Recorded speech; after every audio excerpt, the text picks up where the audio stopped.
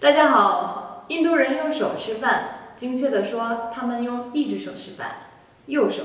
更精确具体的说，他们用右手的手指来拿、掰、撕、拌、吃和喂，同时手掌要尽可能的保持干净。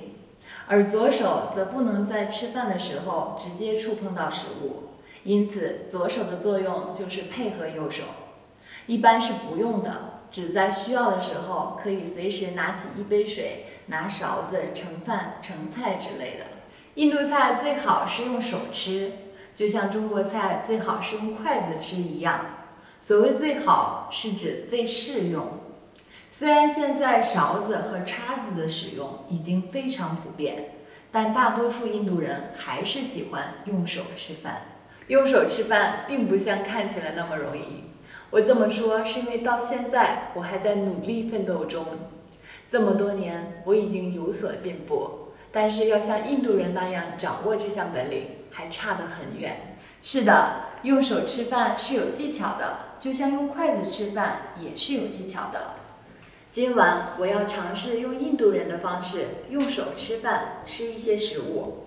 我们来看看都有什么：炒芝士咖喱、芸豆咖喱、秋葵咖喱、茄子咖喱、炖西红柿扁豆、鼓锤葫芦桑巴汤、黑胡椒 rasam 汤、印度薄饼。土豆馅饼、蔬菜普劳饭、米饭、干果西米甜汤、纯味酸奶，用来给印度菜调味的酥油，这些都是素食，有些今天我也是第一次吃。别担心，我不会把它们都吃完的，只吃一些给大家秀一下这项技能。尽管我还不是太熟练，就看一下是怎么用手吃饭吧。别跟我学。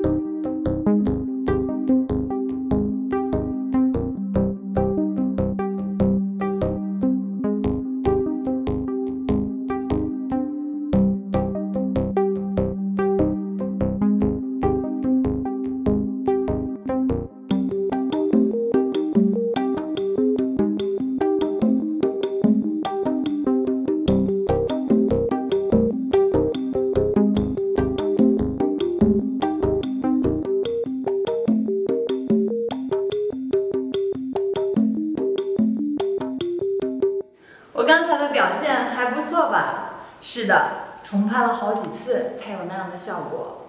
说实在的，在实际的日常生活中，我还是不能像刚才那样轻松的用手吃饭。我必须承认，这并不容易。虽然多次重拍，但我还是无法用手去吃 rasam 纯味酸奶和甜汤。实际我拍的时候，我尝试过用手去吃，但总是弄得一团糟。最后，我就直接用碗把它们给喝光了。不过，我看了很多印度人也是这样做的，所以我觉得也可以。在印度，我都数不清有多少次人们对我说过这样的话：“你怎么吃都没关系，我们只希望你吃得好。”用手吃饭没有对错之分，你想怎么吃就怎么吃，没事儿，用这把勺子吧。